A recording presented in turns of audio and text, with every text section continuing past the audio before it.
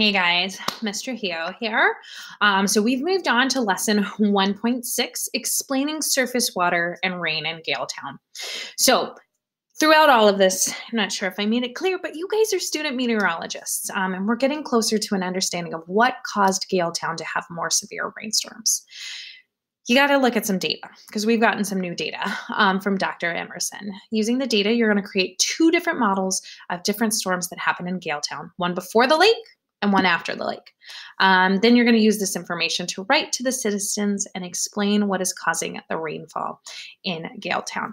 So, rooting us kind of back and what we're doing and why we're doing all of this, our unit question is why do some rainstorms have more rain than others?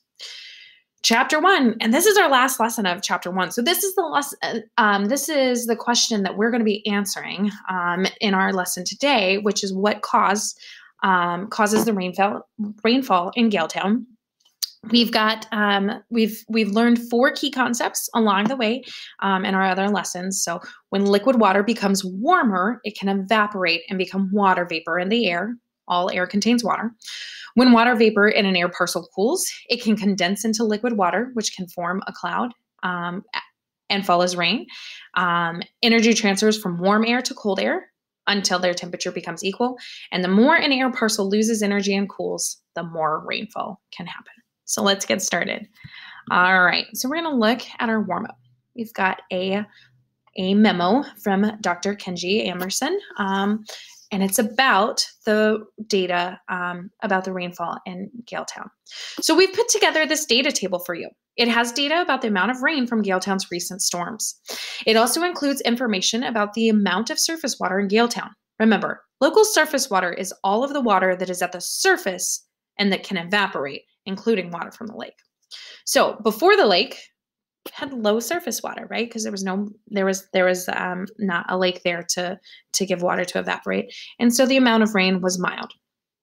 Storm two um, this was after the lake. There was a high amount of surface water. Um, a moderate storm, right? That was that that three, no, that two to three maybe, um, and then the severe was that three to four, and then the very severe must be that four.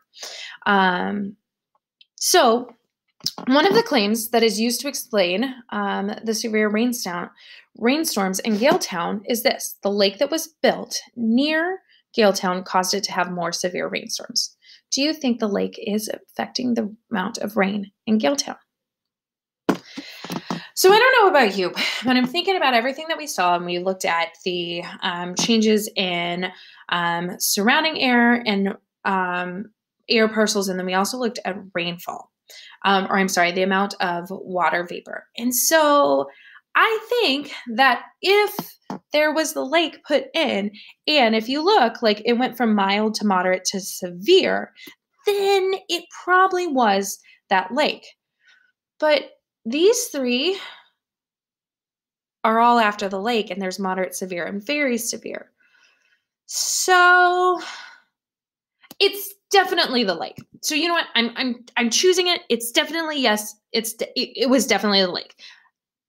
All right. So using evidence from the table above, that's what I just did, right? So like mild six centimeters. Then after the lake, the amount of rain doubled just in one storm. And then like it was almost three times, and then it was like five times the amount. So like it definitely was the lake. All right. So